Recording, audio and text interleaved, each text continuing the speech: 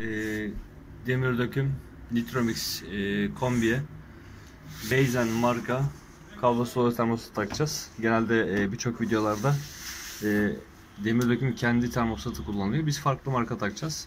Ben bunun e, öncelikle şu altta iki tane vida var. Buradan açıp şu ön paneli açıyoruz. Karşımıza bu ekran çıkıyor. Burada e, kendi termostatı için 24 volt şeyler var. Biz burada yapacağımız e, şu kırmızı olan e, kabloyu çıkarttığımız zaman termostat ucunu oraya gireceğiz. Biraz sonra videolarda devamını götür, göstereceğim ben zaten. Şu an kombimiz devrede. Ben bunu e, gevşetmiştim şu an söküyorum. Yani kombi devreden şu an çıktı. Çalışmıyor. Yani e, uç termostat ucumuz bu. Termostatımızı bağlamıştım ben. Şu an bunu bir kapatayım. Termostat girişimizi yaptık. Com ve no uçlarına. Ucumuz burada. Bunu bu soket yerinden çıkıyor bu şekilde. Bu şekilde aldığımız zaman rahat çalışabiliriz. Evet.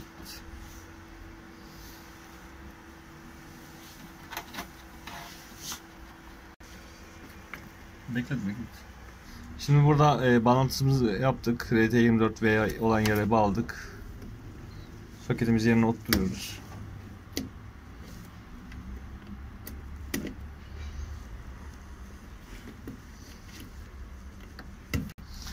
Kombimizi devreye alalım.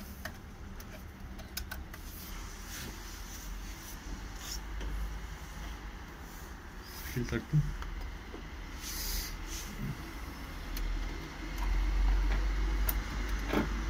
Şu an kombimizi devreye soktu. Evet, burada e, kırmızı ışık yandığı zaman kombin devrede olduğunu gösteriyor.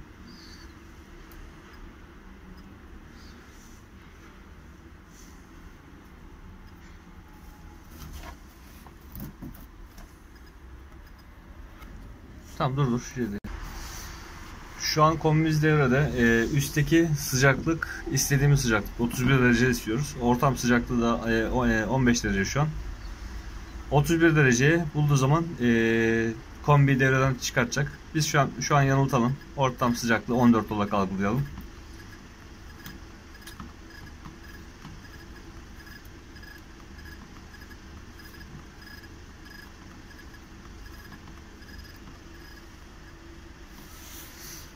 Kombi devreden çıkacak şimdi. Şu an gördüğünüz gibi ışığı da söndü. Kombi devreden çıktı. Tekrar açalım. 16 yapmamız bunu.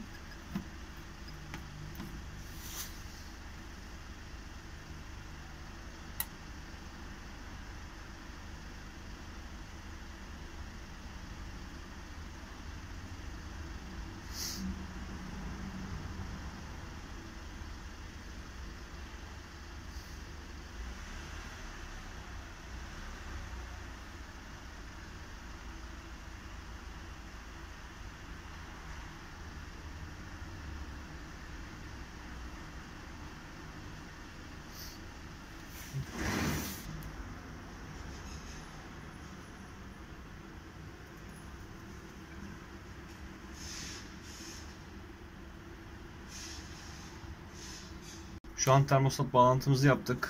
Ee, biraz önce de bahsettim. Ee, üstteki istediğimiz sıcaklık, alttaki e, ortam sıcaklığı 16 derece. Kombi 16, e, kombi 17 dereceye vardığı zaman peteklerdeki sıcaklık ya da oda sıcaklığı 17'ye vardığı zaman e, otomatik devreden çıkartacak. Bu şekilde kullanım hazır.